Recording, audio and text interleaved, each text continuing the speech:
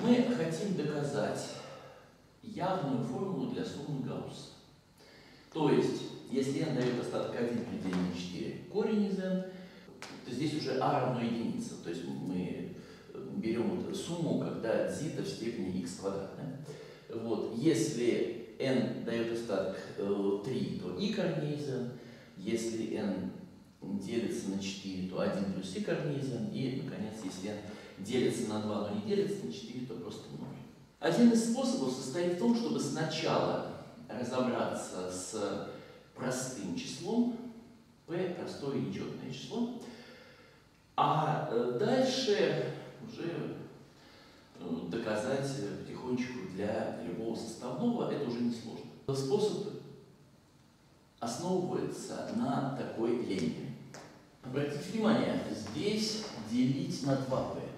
Обычно мы писали 2πx квадрат, а здесь не так. Вот. Оказывается, вот эта сумма маленькая, меньше, чем э, корень из p.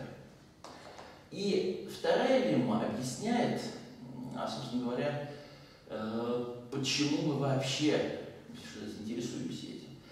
Оказывается, вот здесь смотрите, от единицы до n-1 и в знаменателе n. А здесь в знаменателе 4, если здесь написать, ну, то есть, э, видите, вот это число в 4 раза да, меньше этого. x по-прежнему пробегает значение от единицы до n-1, ну и еще множитель единицы минус и в степени. Чтобы доказать вот это вот тождество, несложно, на самом деле, ничего, ничего такого сложного здесь нет. Просто рассмотрим сумму таких вот выражений, взятую по полной системе вычетов. x пробегает значение от единицы до 4n. Отдельно выпишем слагаемые, соответствующие числам n, 2, n, 3, n, 4n. Ну, то есть подставляем вместо x n, получаем вот это. 2n, 3n, 4n. Легко понять, смотрите, e в степени 2π разделить на 4, это просто i. Что вот это i в степени n, это просто единица. Это тоже и в степени n, это единица. Значит, сумма вот этих четырех чисел это 2 умножить на 1 плюс i в степени n. А здесь вот что. Любое не делящееся на n число от единицы до 4n, либо это x, либо 2n минус x, либо 2n плюс x, либо 4n минус x. Где x какое-то число от единицы до n минус 1. Но обратите внимание, если вы возводите вот здесь квадрат, то у вас получается 4n квадрат, это делится на 4n, поэтому не влияет на степень э, плюс 4n опять, ну, везде получается одно и то же. Эти числа всегда просто равны. Значит, здесь можно написать множитель 4 и вот такая сумма. С другой стороны, поскольку суммирование у нас происходит по полной системе вычетов, то можно воспользоваться китайской теоремой об остатках. А именно, число x однозначно представимо в виде 4z плюс ny, где z от единицы до n, а y от единицы до 4. Вы просто можете в конце концов проверить, что любые два вот таких числа, если они сравнимы по модулю 4n, то обязательно z сравнимы по модулю n, а э, y сравнимы по модулю 4. Э, и что дальше видим? Когда возводишь вот это в квадрат, получается 16z квадрат плюс 8z yn плюс n квадрат y квадрат. Э, это не влияет, потому что при делении на 4n у нас здесь э, получается целое число. Значит, на самом деле наша сумма есть произведение таких двух сумм. Теперь, давайте посмотрим отдельно, когда z равно n. Что у нас тогда здесь будет? А здесь у нас будет просто-напросто единица. Хорошо. А это что за сумма? Это, если вместо y подставить единицу, будет и в степени n. Если двойку, просто единица. Тройку будет опять и в степени n. и четверку опять единица. То есть вот эта вот сумма, это в точности вот эта сумма. Э, Значит, если мы с вами здесь напишем суммирование не до n, а до n минус единицы, то можно будет не обращать внимания на вот это, и мы получаем замечательное равенство. Вот, вот это выражение равно, смотрите чему, когда суммирование до n минус единицы, а здесь стоит вот такой вот множитель. Давайте напишу. 2 умножить на 1 плюс t в степени n. И здесь сумма вот такая e в степени 2πi и э, z квадрат. Кстати, я могу не писать четверку, потому что 2z по модулю нечетного числа пробегает полную систему вычетов. Поэтому давайте здесь просто напишу делить на n. Э, единица меньше или равна z меньше, строго меньше. Строго, там было меньше или равно, а здесь в том-то идея, что строго меньше, э, чем э, отлично. Э, Теперь здесь четверка. На 2 сократим. И обратите внимание, когда мы поделим на 1 плюс и в степени двойку делишь на 1 плюс и в степени то это как раз и получается э, единица минус и в степени. Ну, просто по формуле разности квадрата. да. Единица э, минус и в квадрате в n степени. n нечетное число, поэтому все замечательно. Э, Лемма 2 доказано. С леммой 1 возьми будет побольше. Там потребуется так называемая формула суммирования абеля. Во-первых, что это такое? Э, Пусть у нас есть произвольные числа А1, А2 и так далее, В1, В2 и так далее. А, Оказывается, вот такую сумму можно записать вот в таком виде. Это очень похоже на так называемую формулу интегрирования по частям. Если рассказывать, что называется, наивным образом, то, то есть формула написана здесь, все просто. Но если рассказывать наивно, то идея такая. У нас есть э, какие-то прямоугольники, э, которые расположены, вот представьте себе, с какими-то высотами b, а здесь у нас есть последовательность чисел А1, А2 и так далее. И каждый раз берется такой прямоугольник и умножается на высоту. То есть картинка примерно вот такая. Ш- что тут такое? Не, не обязательно последовательность монотонно, конечно, да? Вот. И здесь у нас есть разность числа h, здесь э, есть разности а умножить на b. А можно посмотреть по другому направлению. Тогда у нас наоборот будут числа а, умноженные на разность чисел b. Конкретно для нас что нужно? Э, Давайте обозначим э, целую часть корня из p буквой t. Тогда, если в качестве ax взять вот такое число, e в степени 2π, x квадрат плюс x делить на 4p, а в качестве bx единицу делить на синус и x делить на 4p, то смотрите, э, что такое ax минус ax минус 1. В одном случае будет э, плюс x, в другом случае, э, когда вы вместо x подставите x минус 1, э, у вас, очевидно, вот это же x умножить на x плюс 1, а x минус 1 умножить на x, это просто-напросто, здесь будет знак минус.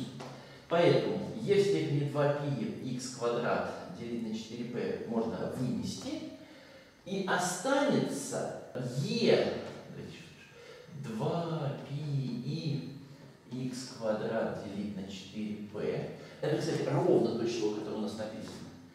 И останется такая штука. e в степени 2πx делить на 4p минус, э, то же самое с минусом, e в степени минус 2πx э, делить на 4p. Ну, замечательно. Э, смотрите, у нас же когда вы берете э, разность, то э, e в степени и фи минус e в степени минус и фи э, это просто-напросто 2 и синус фи. Так вот, этот самый фи, это как раз и есть px делить на 2p. Потому что когда вы 2 на 4 делите, как раз получается знаете 2. Вот, и для этого у нас э, соответствующее число bxv. То, что здесь есть множитель i, э, совершенно не должно вас смущать, э, потому что модуль, он есть везде, во всех скобках, э, и поэтому модуль от этого совершенно не э, изменится. Правда, конечно, здесь есть множитель 2, ну, ничего страшного, э, просто мы сделаем все вычисления и потом не забудем умножить на это самое число 2. Ну, или если угодно, можно было здесь написать не единицу, а двойку. В общем, в любом случае нас интересует вот такая штука. Э, пока bx и ax это вообще любые абсолютно числа, и вот это преобразование называется преобразование Абеля или суммирование Абеля. Вот смотрите, Здесь ax минус ax минус 1. Давайте так напишем отдельно сумму всех выражений вида ax bx и отдельно ax минус 1 bxv. Но вместо x минус 1 напишем y. Заметьте, здесь по-прежнему x больше t меньше p, то есть, другими словами, вот э, на y чуть-чуть сдвинутая получается э, чуть-чуть сдвинутые неравенства. Вот. Ну ничего, а теперь э, переписываем. Это сумма без изменений. Здесь пишем. Но заметьте, я сейчас для y написал те же самые, э, те же самые условия. Это неверно. Э, каким образом исправить ошибку? Посмотреть, какое слагаемое здесь возникает э, лишнее с минусом, значит, его надо прибавить. И наоборот, чего здесь нет. Ну, понятно, чего. Э, если вы пишете в качестве y э, число p минус 1, то это, смотрите, чему соответствует. Это соответствует тому, что у вас здесь x будет p. Но x не бывает p. А здесь y по минус 1 бывает. Значит, надо вот это обязательно прибавить, чтобы скомпенсировать то, что здесь имелось. И наоборот, если вы э, в качестве числа y э, пишете э, t, то здесь это запрещено делать. Здесь на самом деле написано y больше, чем t. Но y равно t соответствует значению x t плюс 1, а это разрешенное. Поэтому обязательно надо не забыть вот это вычесть. Отлично. А дальше все очевидно. Вот эти две суммы объединяются в такую, э, и вот эти вот так и остались. Как объединяются вот эти две, абсолютно понятно. Э, индекс суммирования э, можно здесь написать везде букву x, потому что я специально сделал уже, что промежуток суммирования строго один и тот же. И поэтому здесь у нас как раз и есть ax, bx плюс 1. И вот эти штуки дают нам. Теперь нужно в нашем случае разобраться с этими величинами. Итак, применяем формулу суммирования Абеля. Я напоминаю про вот эту вот двойку, потому что здесь у нас она была Напоминаю, что такое ax, это e в степени 2π, x квадрат плюс x делить на 4p, bx это единица делить на синус x делить на 2p. Вот если все подставить, то получается такое равенство. Ну, давайте проверять. Вот, если вы смотрите, что такое b с индексом p, то это будет синус π делить на 2p то есть единица, единица делить на единицу. А по минус 1 это вот это.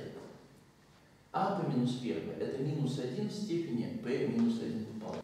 Ну, здесь какое-то такое вот выражение. Здесь разность обратных синусов. Вот, давайте оценку сделаем очень простую. Э, вот это вот e заменим на единицу, здесь на единицу, здесь э, тоже будем считать, что с плюсом, единица делить на синус. Тогда все упростится. Здесь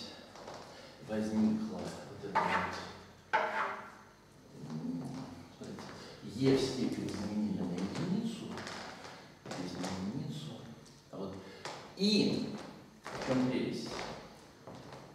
У нас же функция синус монотонная, поэтому можно действительно просто просуммировать, и у нас получится единица, деленная на синус π t плюс 1 делить на 2p. Если я сейчас объясню, почему это меньше, чем поделить на t плюс 1, э, то из-за того, что t плюс 1 было больше, чем корень из p, здесь получится меньше, чем корень из p, и все будет хорошо. А вот это неравенство очень простое. Давайте обозначим t плюс 1 делить на 2p буквой x. Э, нам нужно доказать, что 2х меньше, ну, 2х это t плюс 1 делить на p, да? меньше, чем синус πx. Ну, это просто выпуклость графика синуса. Если вы в качестве x подставляете 0, то в обеих частях нули. То есть рассматриваем график функции y равно 2x, это вот такая прямая, и график функции y равно синус πx. Э, это вот график синуса. Э, тогда в точке x равно 1 2 здесь единица, и здесь единица, вот такая точка. В нуле тоже. А между ними синус больше. Синус выпуклый вверх. Таким образом, неравенство мы доказали. Лемма 1 доказана. До вычисления э, точного значения гауссовой суммы для простого числа осталось буквально чуть-чуть.